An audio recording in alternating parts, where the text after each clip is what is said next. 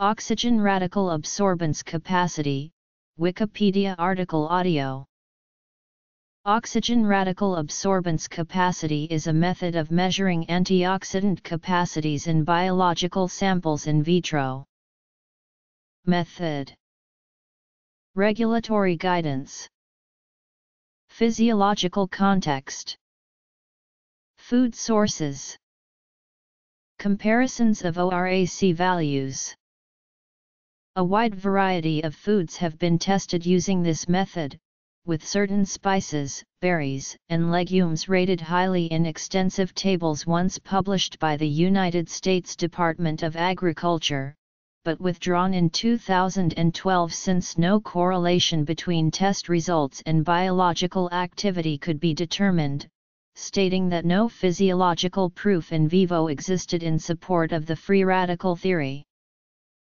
Although not all have been unilaterally dismissive, the majority position supports the USDA decision. Alternative measurements include the Folin Ciocalteu reagent, and the Trolox equivalent antioxidant capacity assay.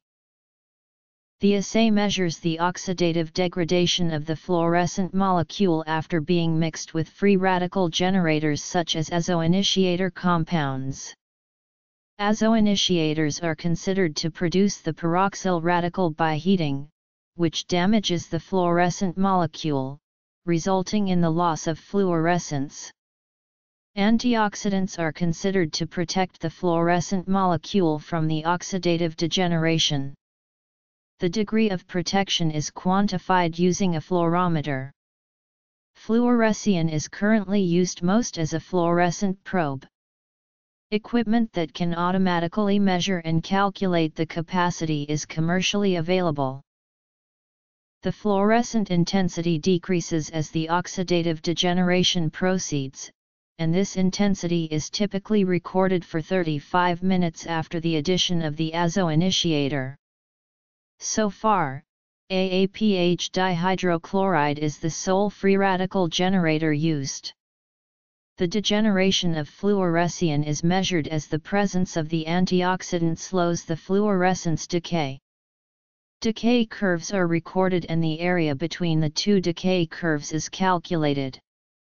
Subsequently, the degree of antioxidant-mediated protection is quantified using the antioxidant Trolox as a standard. Different concentrations of Trolox are used to make a standard curve, and test samples are compared to this. Results for test samples have been published as Trolox equivalents or TES. One benefit of using the ORAC method to evaluate substances' antioxidant capacities is that it takes into account samples with and without lag phases of their antioxidant capacities. This is especially beneficial when measuring foods and supplements that contain complex ingredients with various slow and fast-acting antioxidants, as well as ingredients with combined effects that cannot be precalculated. Drawbacks of this method are, 1. Only antioxidant activity against particular radicals is measured, however, peroxyl radical formation has never been proven, 2. The nature of the damaging reaction is not characterized, 3. There is no evidence that free radicals are involved in this reaction, and 4. There is no evidence that ORAC values have any biological significance following consumption of any food. Moreover, the relationship between ORAC values and a health benefit has not been established. Resulting from scientific refutation of the physiological significance of ORAC, the USDA, which had been collating and publishing ORAC data for more than a decade, withdrew its web publication of ORAC values for common American foods in May 2012. Several modified ORAC methods have been proposed. Most of them employ the same principle, however, ORAC-EPR, electron paramagnetic resonance-based ORAC method directly measures the decrease of AAPH radical level by the scavenging action of the antioxidant substance.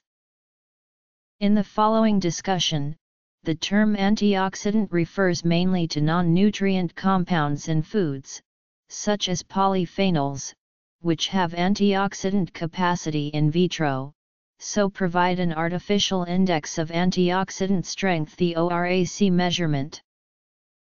Other than for dietary antioxidant vitamins vitamin A, vitamin C and vitamin E no food compounds have been proved with antioxidant efficacy in vivo.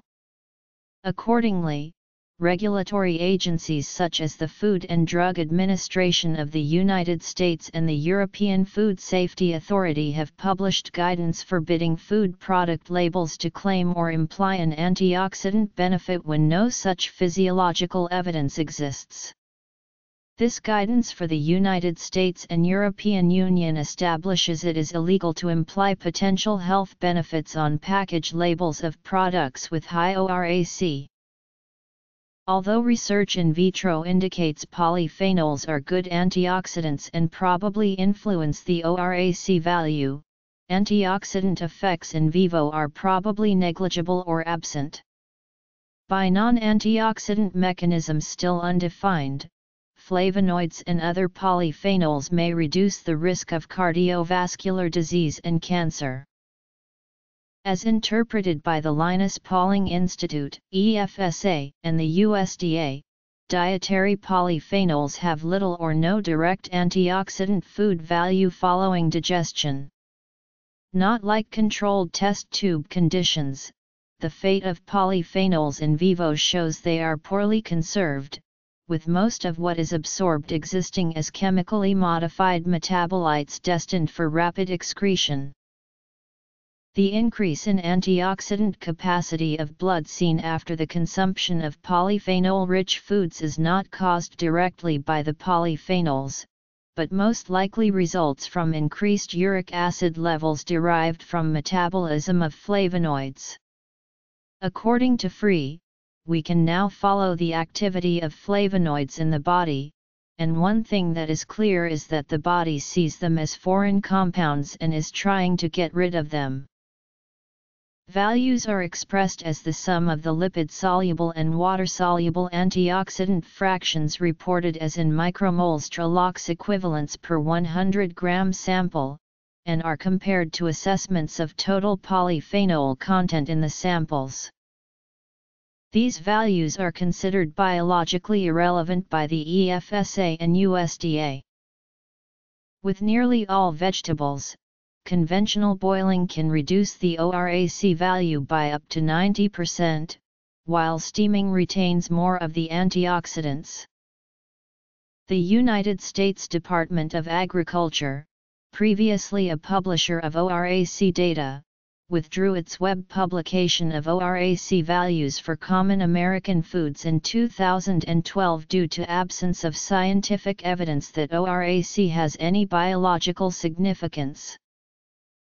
When comparing ORAC data, care must be taken to ensure the units and food being compared are similar.